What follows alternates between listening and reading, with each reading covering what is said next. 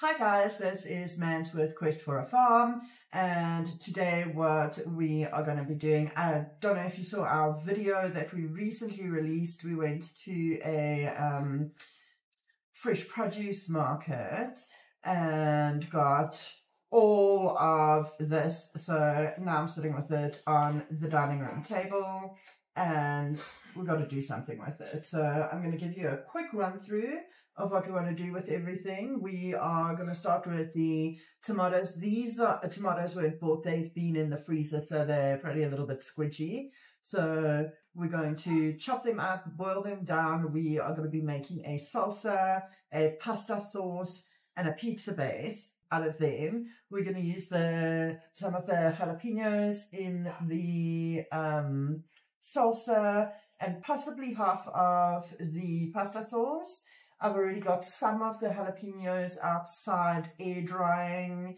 And then what we're going to do with some of the jalapenos is we are going to pickle them off because I make killer jalapeno poppers. Um, then we've got this giant bag of beetroot. We are going to boil that off and half of it's going to kind of get pickled and half of it will get sort of chopped up and popped in the freezer. Then we've got the onions, which we will just slice and chop all of them up. Some of them will go into the freezer. Some of them will go into the salsa. I'll probably keep a few out for kind of use at home. The butternut we're going to leave just as is because those will stay good for a long, long time. The grapes are going to go straight back into the fridge. Um, oh, I forgot. I also might make a chili oil with the jalapenos. Um, the grapes will go straight into the fridge. I promise you they will be gone good for long.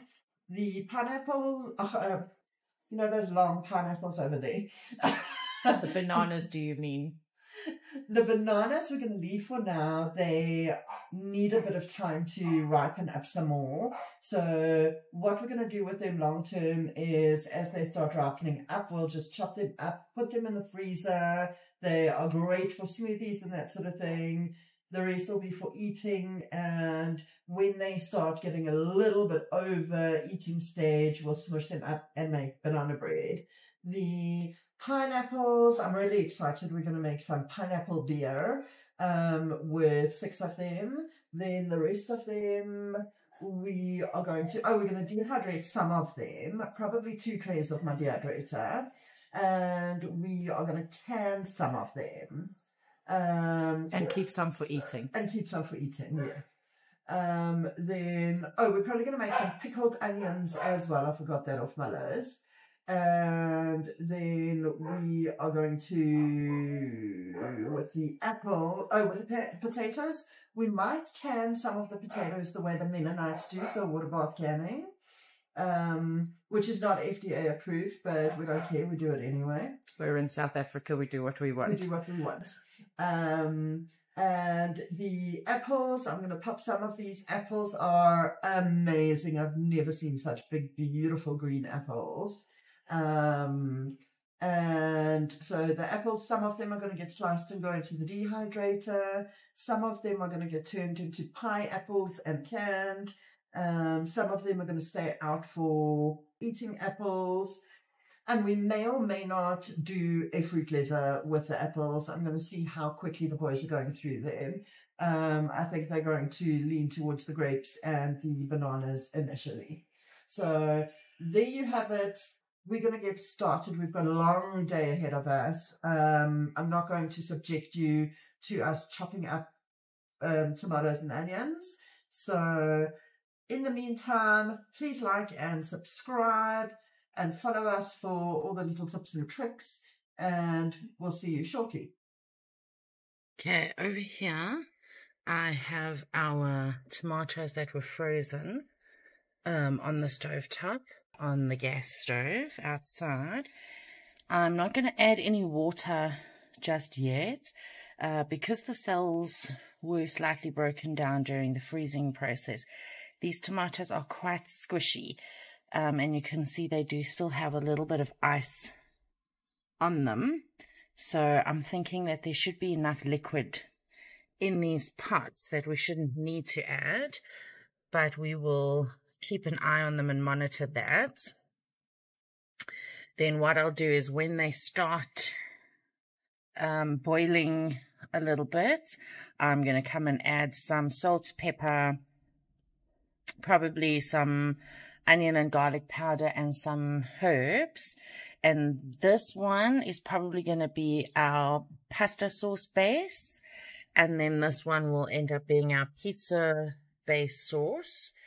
Um, so we'll just let them sit here and do their thing for a bit. Okay, great. So now we are going to start cooking our salsa. We've cut our tomatoes, our onions, our chilies.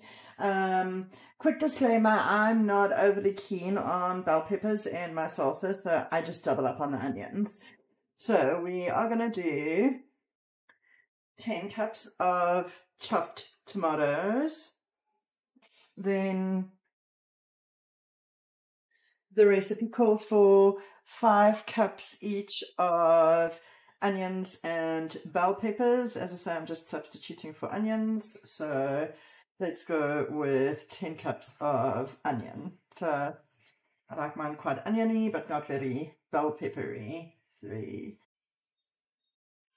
And then the next thing we're going to need is about two cups of chilies. So I've got my diced up jalapenos. These are, this is not two cups. I will be murdered instantly if I had to put two cups in there. It's liven things up a bit. So, well, it, sorry, the recipe calls for two and a half cups. Is closer to two cups.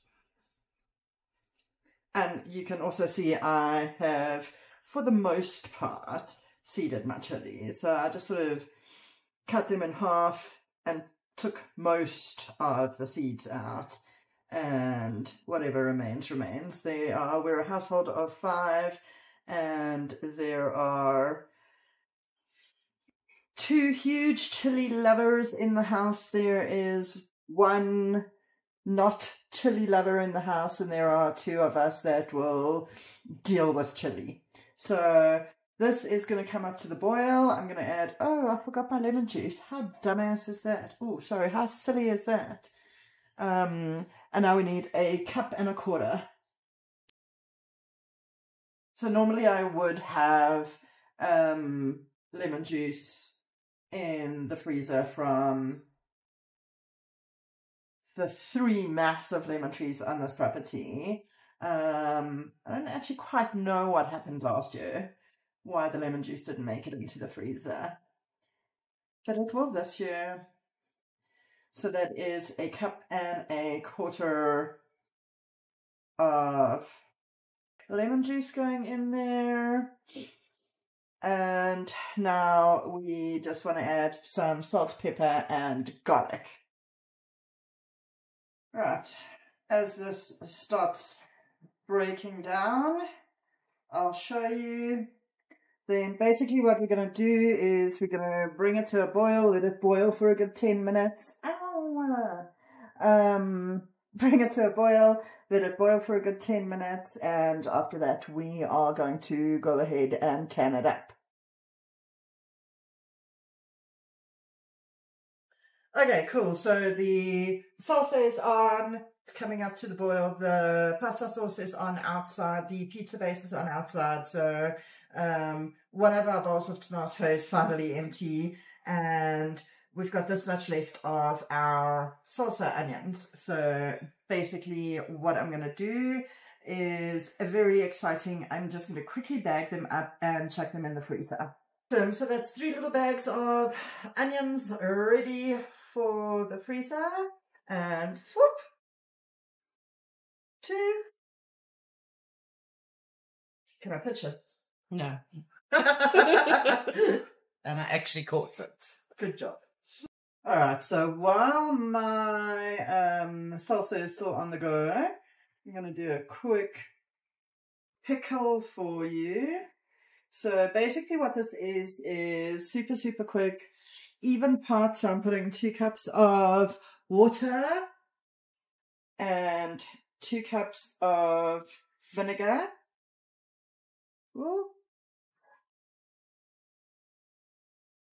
Okay, I'd like to put maybe just a little bit extra vinegar. So I'll sort of put two and a half cups of vinegar.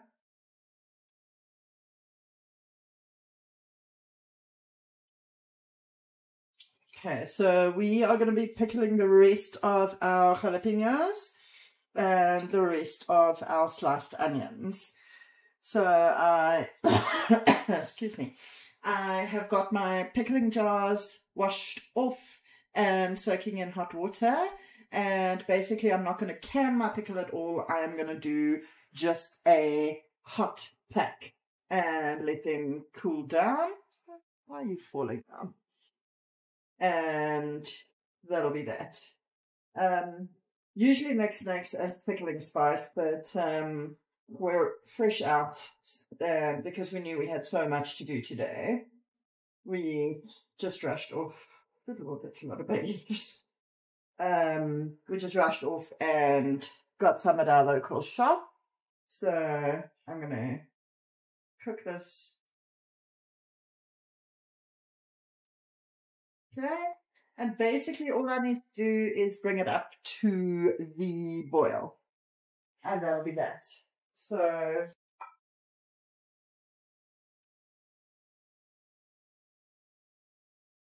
Okay, so what I'm going to do is I'm going to pack my onions and my jalapenos into the pickling jars.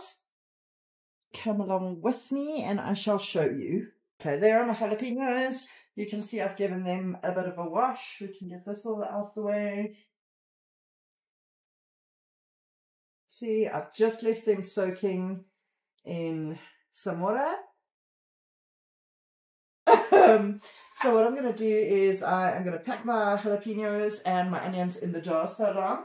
I just wanted to give them a rinse out. And I can't get the thing on. So I'm even rinsing them still in hot water. I'm just rinsing the soap out of them. These jars are relatively standard, but um, this one is super cool. So basically what we're going to do is I'm going to start by chucking a little bit of salt into the bottom of each jar. Because I do like a salty pickle.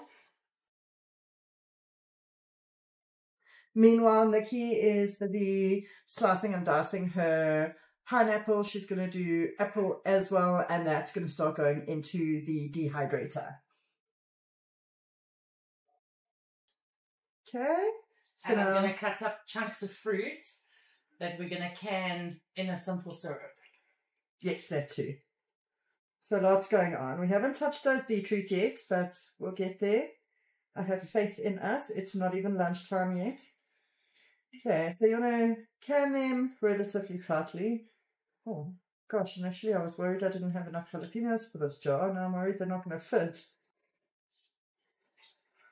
Yeah, but if if they don't all fit, mans, then we can put some aside to use in something else. We could randomly start throwing them around. Or that. There's a bit of a gap over here. Yeah, there we go.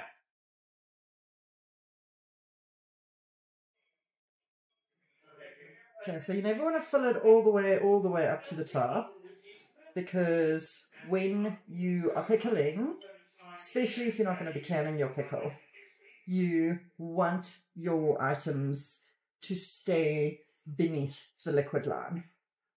So I think that'll do it. I'll put another two in because I can. So what I do with these is I make the most amazing jalapeno poppers for when it's braai time. And everybody loves them. And our dad is coming next week. Yay! And he will definitely want jalapeno poppers. Okay, and then here I am just again tightly, tightly packing. Okay, so you can see I'm leaving the headspace there. So I've just grabbed this little jug because it's easier to pour that way. And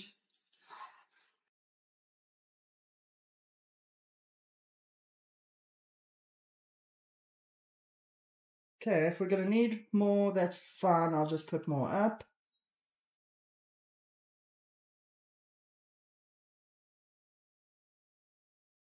Oh, why are there so many bay leaves in this mix? no, you want a lot of bay leaves. Yeah, but damn. Also put a um, lot of leaves. Not this many.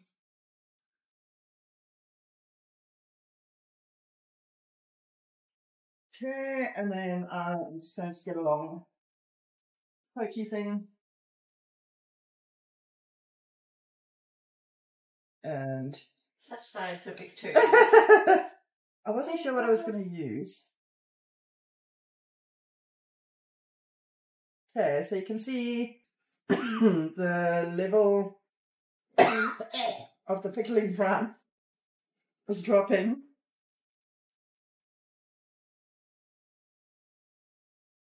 So we can just top that up again. Pop our fabulous little glass lid. I really do love this thing. Okay, that is going to sit for a good seven days or so. And then we're going to do the exact same thing with our onions. Right, so these little guys are all going to sit and chill out here until they have um, cooled down. And then I'm going to pop them straight into the fridge or onto the pantry shelf, whichever I see fit. Probably the pantry shelf. No, if there's space in the fridge. no, I don't think so. Okay, so that's the pickling squared away. I'm going to go check on my salsa again and I'm going to hand you over to Nix where she is going to start taking you through what she's doing by the dehydrator. All right, I have now got all my fruit sliced up and I'm just putting it in the dehydrator. I am going to probably end up with two trays of pineapple and three, I think, of apple. Um, and we will then switch this on and go put it somewhere out of the way because this is going to probably run for a good few hours. So I'm putting the pineapple at the bottom because I do think that that'll take a little bit longer than the apple, but I want to get this going quite quickly because my apple has already started going a little bit brown. And Chuckles is sitting here watching me very closely. Do you want some pineapple? Do you want some? I don't think you eat this. No, I didn't think you'd want that. And that is ready to be plugged in somewhere out of the way where it can just do its thing. Okay, so I did make a video of me canning up my salsa, but I don't know what went wrong. Um, so it didn't record properly. So I'm just going to can up another two um, jars. So basically, this is what it looks like all cooked. We are going to add it in. I have got a proper fun- funneling, what canning funnel arriving sooner rather than later. Um, but so we are packing our hot liquid into hot jars. So we are hot packing. My water bath canner is sitting on the stove, ready to go.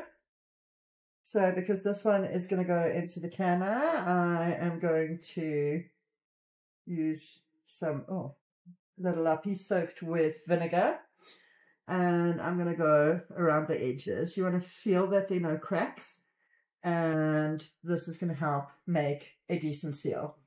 These canning lids should never be reused. Always use a new one. The rings, however, can be reused. Then what we're going to do is we're going to tighten them just finger tight. You don't want to sort of screw them in. And as soon as my canning water is up to the boil, I'm going to put my solitary little jar of salsa in.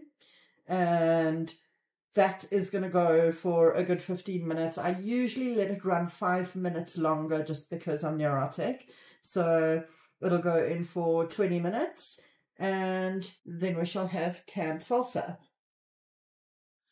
All right, we are now going to be starting with the simple syrup for the fruit that we want to can. So I've chopped up some pineapple already and I am going to start chopping up some apples now, but I want to get my syrup going.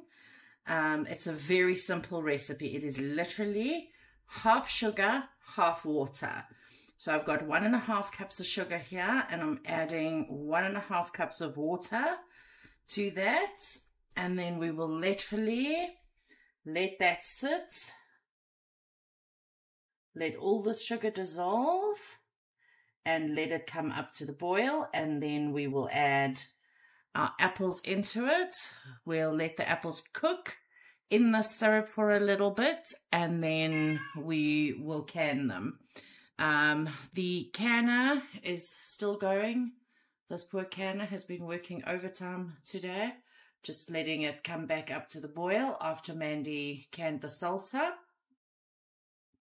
And I am now going to go and chop up some apples and then we will be back to show you what we're doing. Okay, our pot is now boiling. So we are going to add our apples in. So we've got, it's about three very big apples chopped up. They are going in and they are going to cook in our syrup for about, I think it's about five minutes that they cook in there for.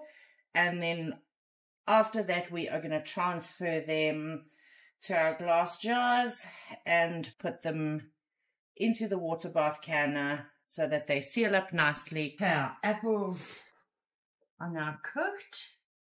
So I'm going to just spoon them into our jars. So these jars have been soaking in super hot water. So they are extremely hot at the moment. And our apples are soft, soft, soft.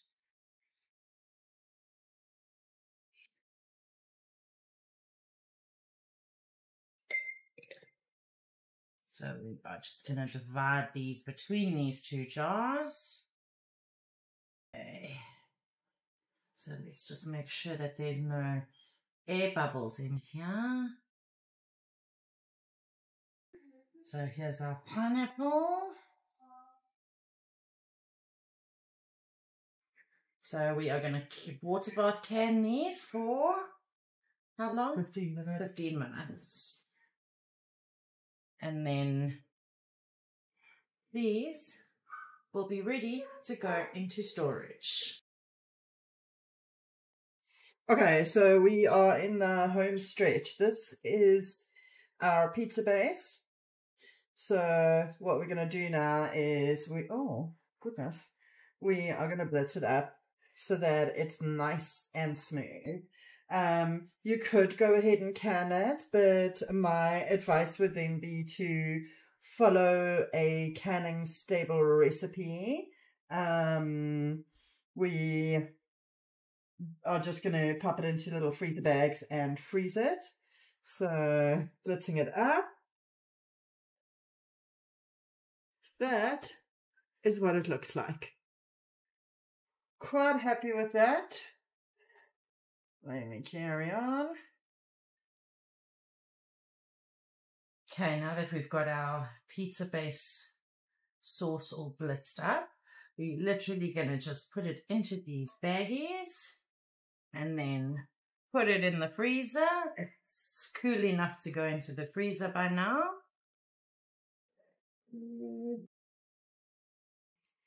Okay, here is our pasta sauce. This one we are not running through the food processor because we do want this to be a little bit thicker and sort of chunkier so that we've still got little bits of tomato floating around in there. So I reckon that is good. And then, because we ran out of space in our pots, I also did a tray of roasted tomatoes. So we are also going to throw these into a freezer bag. That was what, just some herbs and Some salt, pepper, olive oil, uh, parsley, and oregano went on here. Okay, so it's the end of a very long day, and I've got to say, not too shabby. So let's have a quick run through of what we've got. So in the dehydrator outside, we have got the apples and the pineapples that are still going to go overnight and probably most of tomorrow.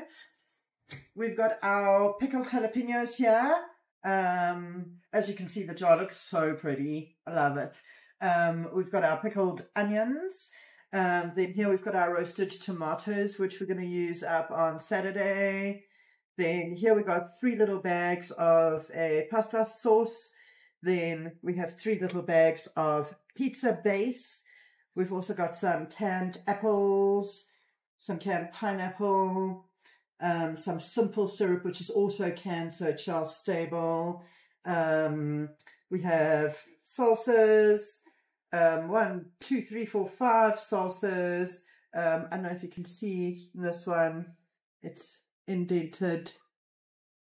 So they're looking good. So we could actually take this ring right off and it's nicely sealed up. And um, then we have our one that didn't make it into the canner. And as you can see, my boys have already climbed right into it. Um, that was gobbled up for lunch. So what we didn't, I'm just trying to think if I missed something. What we didn't get to was the beetroot. So tomorrow we are going to crack on with the beetroot. Like we said, we're going to be boiling it and half of it is going to be pickled. I'll use the same method as I used here and half of it will go into the freezer. I'm thinking of making that Russian soup. What is that Russian soup? Borscht. Borscht.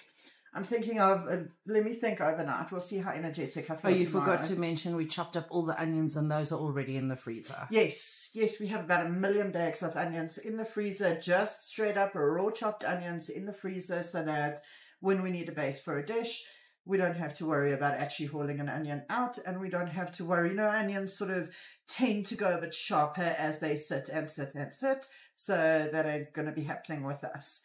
So now we just need to get all of this stuff labeled. You can bet your bottom dollar I'm pouring myself a big branas. I think somebody might have called it a mega pint at some point. That was one. That was one. Can Akil have a mega pint of wine and I'll have a big branas. And um, please hit us in the comments. Let us know if you know what a branas is if you're not from South Africa. And um, we'll probably see you back tomorrow with those beetroots. And we've still got to clean up this kitchen. And we still have to clean up the kitchen. Maybe a double branas, two branas, two triple branas.